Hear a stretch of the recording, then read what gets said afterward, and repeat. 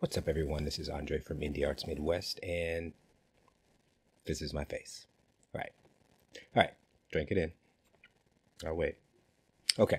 Now that we got that out of the way, let's take a look at what I've been working on for the past, I don't know, month or so.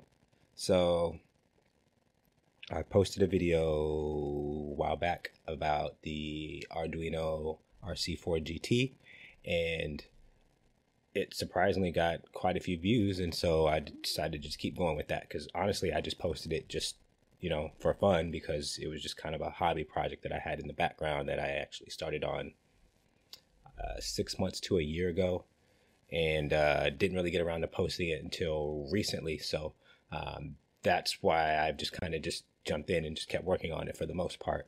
Um, I knew that I was going to deal with some setbacks especially when it comes to the IDE side, which is what we're looking at right now, uh, primarily because I didn't really have in, any understanding of how to drive motors. I had motor drivers, but I had never used them in any Arduino projects. In fact, that's part of the reason why I purchased them. Well, actually, I take it back. There's actually two reasons I bought it. Um, number one being that they were cheap. They were only $4.99 at Micro Center. And two, um, I had this RC project and I figured there was quite a few other things that I'd probably want to use a motor driver for. So kind of all worked out. Anyway, so I have this DRV 8833. I'm reading off my notes, but um, DRV 8833 runs off of uh, 2.7 to 10.8 volts. It has 1.5 amp output, 3 volt, 5 volt logic, and uh, has two H bridges that was the best part because I was hoping to find a motor driver that allowed me to control two separate motors. Now, one particular thing that I've come to notice is that, as you'll see in this video when we cut to that part, there are two different types of motors inside of this RC Ford GT. Uh, first of which there's a 12 volt that's in the back that's driving the rear wheels, and then in the front side we have a 5 volt motor. So I will prefer, I'll say, to regulate the power distribution based on that um, as the video goes along, or possibly in the next video when we take a, another look at the control board or the main board that I have made for this project. We will then worry about separating a 5 volt and 12 volt. If more than likely, I'll end up having to use a buck converter, which means that I'm going to have to make some space on this main board I have sitting here as you can see. And uh, like right here, this space here, I'll probably have to desolder these. It's kind of loose anyway, so that's no biggie. And uh, just make some space for the buck converter and also the uh, motor driver so that I can have a 12 volt running for to the 12 and a 5 volt running to the 5. I could look into regulating the voltage using pulse width modulation. I don't know the maximum voltage on that. I'm just assuming it's a 5 volt motor because it's smaller. Um, and I probably could hit it with some resistors, but I would like to get it down to a specific voltage, which is why I'd prefer to just use a buck converter. And I have one sitting around, so why not make the board a little more complex and have a little more fun with the soldering side of things. So that is something that we'll look into later. The reason why I have the ID set up is because I wanted to show you a couple of things based on um, what I have discovered. So, so let's take a look at this first code that I pulled from online, and it was made by this gentleman here back in November of 2020. And as we see later in the video, me testing out this high and low has been helpful. Main part was just getting to see the difference between how the delay functions and then you got different settings for the highs and lows. So you got high and low for the A, high and low for B, and then on the next one, everything is low. Low, high, low, high, everything's low again. So essentially, it's just going forward and backwards, and I guess in an off state, um, which to some degree is good for testing, which is why I have it under DRV8833 test. If I were to open up another one, test two, very similar code. Great. Scroll up. and there's no top info about who made it. I yet another code I just pulled from online.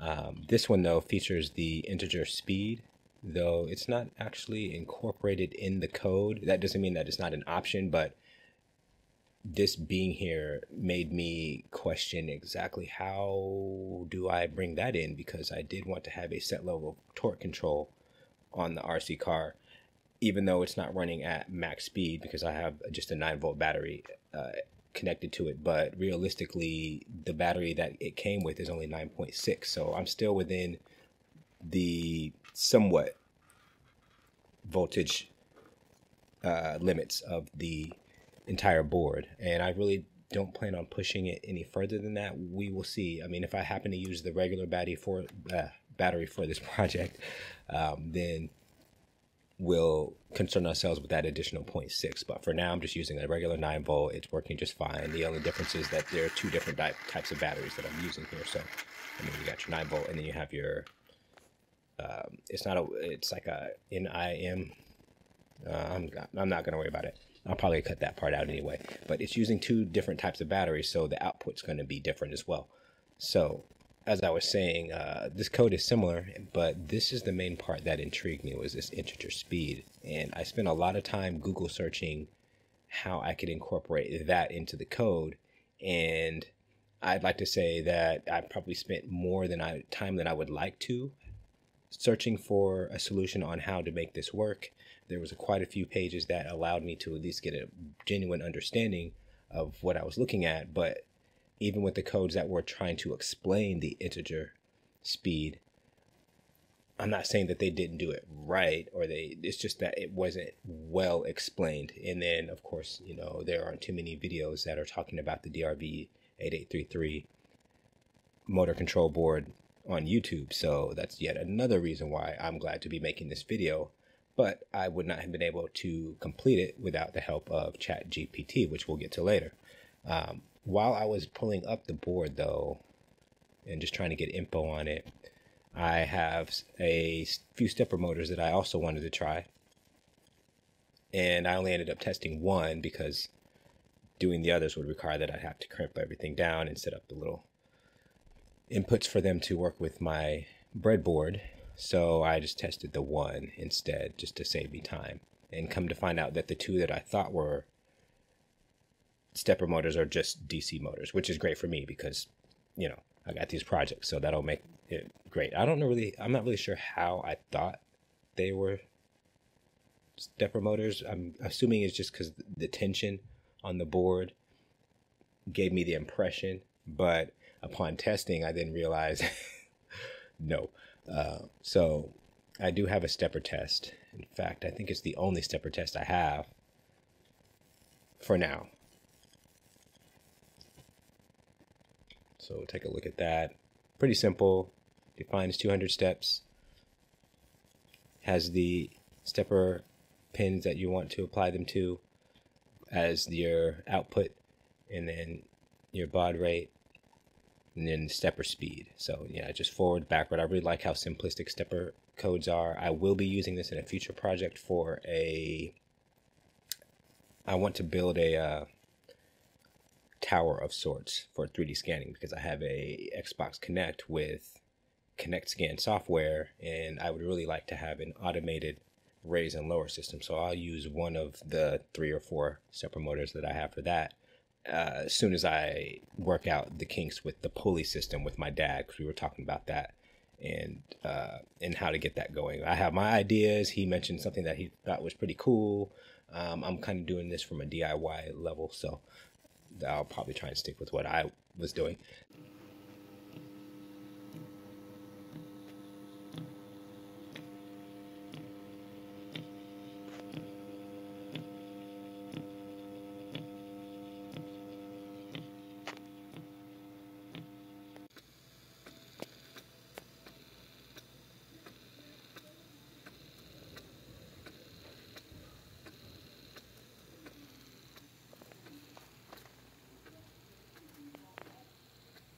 But anyway, let's uh, take a look at how I found the solution, which is through ChatGPT. So I love this software. It is incredibly useful as far as helping me come up with ideas or to try and think things through. And my take on ChatGPT, I'm just going to go on a small tangent here, is that how I've been explaining it to other people is that in a normal situation where you would think twice, Chat GPT helps you think three times. So I know that there's a lot of toss ups about whether it's a good thing or bad thing. Um, I guess it really just comes down to how you choose to use it. I know I've seen online people saying, "Oh, I'm going to use this to uh, write my essays," and while I do understand, I'm just still speaking in tangent mode here. I do understand, but I hope these people do realize that the whole point of an essay is that it came from here. That's that, you know, but that's just me. Maybe I'm wrong for thinking that or saying that. I don't know, but uh, I don't think it should take over completely. Another prime example would be that when you um, need an idea for a story, because I have a couple of those on here that I'm not going to show, but you can feed it a little bit of information and then it rolls out this, oh, okay, these are the steps you would need to finish that. And then you're like, oh, wait, no, no, I actually kind of need help with you writing the story with me a little bit. So you throw it some context and it helps you piece things together that way. So I do think that it is, is ugh, it's extremely helpful with when you happen to be, I would, I, hmm. So I will say that it is extremely helpful if you happen to be a one team, a one man team, or one person team, I should say. Uh, blah, blah, blah, blah, blah, Let's cut it. All right. So I would say that it's extremely helpful if you happen to be a one person team and you're doing all of the jobs and you know you just need a little push in the right direction or maybe you need chat gpt to fill in the gaps for you in certain aspects and you can kind of just continue giving it more and more context until you get a project that you're satisfied with. So, extremely helpful. And it's cool because you can word things a specific way, and depending on how you word it, will determine the answer that you get. But in addition to that, you can switch up if you happen to see something that you're not quite pleased with, or you want to add a step or take away a step, or whatever it is that you want to do so um, looking at this, I simply asked, using a motor driver and Arduino, how would I control the speed of a 12 volt motor, not just high and low states? Because as I said before, I wanted to incorporate some kind of torque control, and that may be determined by the object avoidance angle. So that's why I left this open because I wanted to add additional things to the code. But for now, I'm pleased with just the motor side and testing that. So that's what we have here and it gave me a pretty basic setup on the how to set it up. And of course it mentioned the control motor speed. And so obviously in order to do that you need to have PWM signals which I knew going in. However I did need to rephrase this a little bit to suit my needs. So um, it asked for just one motor as the enable and that's for the PWM frequency. And then, you know, you have your input one, input two, enable input one out or enable output one, output two. And of course, then the analog write and the PWM resolution. So pretty basic code. Of course, it still featured the high and low, but I needed more than that. So after it did its little output, I said, are there parts to define the motor driver pins as analog or digital? Because I wasn't sure, and that really comes down to what kind of board you have as well. Because some boards do PWM from the digital, but then you also have analog pins, which clearly show which ones do the PWM control as well. So it goes on this little explanation about that. And this is the part that surprised me is that when I mentioned that I'm using a DRV8833, I'm not sure how this pulls in information, but for the simple fact that it was able to specifically talk about the motor driver module that I had was an extreme help. So, of course, it does the standard explanation of this is all stuff that I already knew. But it also wanted to mention controlling the speed just based on this particular module, which I was extremely appreciative of, and um, and it obviously it showed me an example code just based on the DRV8833. But I needed more, so um, I asked what it would look like. So I asked what it would look like if I had two motors. And so it spat out a code featuring additional input pins and additional output pins, as well as the digital write. So I asked, wouldn't I need two PWM pins? Because I thought that was kind of weird. It was asking me up here that the PWM pin was set to 128. And it's like, okay, yeah, that's cool. But I only really needed to do two separate things because maybe a PWM for steering and then a PWM for the rear wheels. And I don't have a full explanation on why I want it to work like that as of yet because I haven't gotten to that particular feature. So I still would like to at least have the option of seeing the functionality of the code. So um, it did point out that I was correct. I do need two set PWMs to control the speed of two separate motors. And so it nicely updated the code for me to feature an additional PWM with separate values and explain that this one's at 50% and this one's at 75% because the max is 255, which is pretty awesome. So beyond that, I was a little weary that, okay, I have this test code, which is what I'm calling this one in particular. What about being able to control them with potentiometers? Because I do have some, but I have not prepared them. So I wanted to take the time to at least have the code available for when I have that level of input. So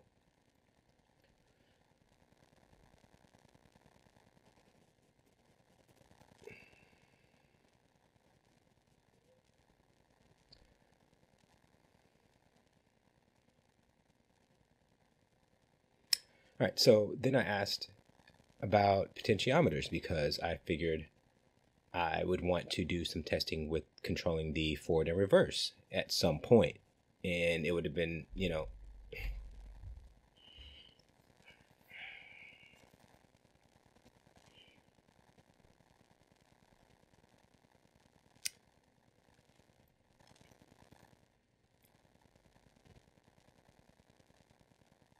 All right, so then I asked if it could add some potentiometer input as well because I wanted to control the forward and reverse. So it also added that additional to the code. I do have potentiometers available. They're not prepared, but when I am ready to use this particular part of the code, I now have it available. So it also read the analog read from the potentiator pin 1 or blah, blah, potentiometer. so it has the read values here, and then it will spit those values out based on and based on its min and max, and then provide a output based on the max for the PWM. So I still have high and lows, that still counts, but now I have a fully functional code, which we will test later, and we will see how everything works. So um, in the end, I'll say that I really appreciate the use of this particular AI program because I myself am a one person team. And it's not just along the lines of Arduino or or just coming up with stories, but also game design.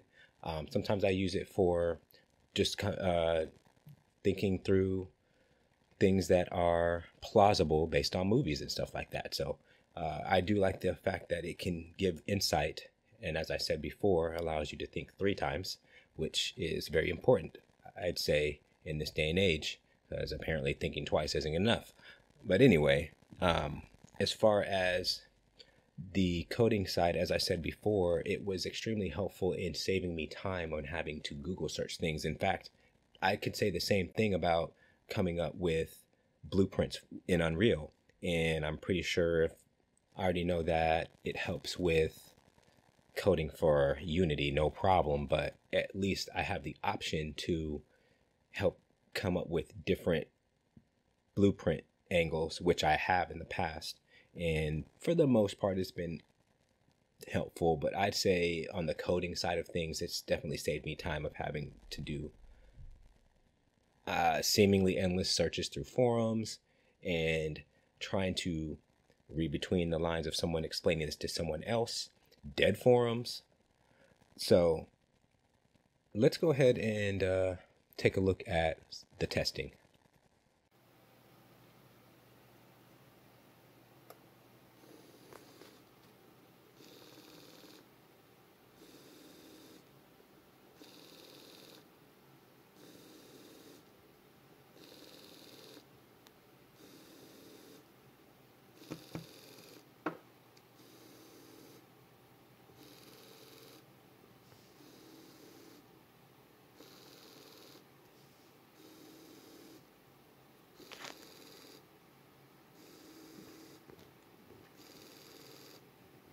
And if you haven't tried Chat GPT yet, I highly recommend you at least give it a shot and see what you can do with it. You know, talk to it, do whatever you want. But mainly the coding stuff, if that's something you're into, it is a very helpful medium in relation to doing a ton of searches online. It kind of saves you a lot more time, and then you can get back to doing the thing that you love, which is the hobby you've been working on and probably a project you've been putting off for who knows how long. That's up to you. But either way, um, I hope you enjoyed this video and the content that I'm putting forward. Don't forget to like and subscribe. And as always, thanks for watching.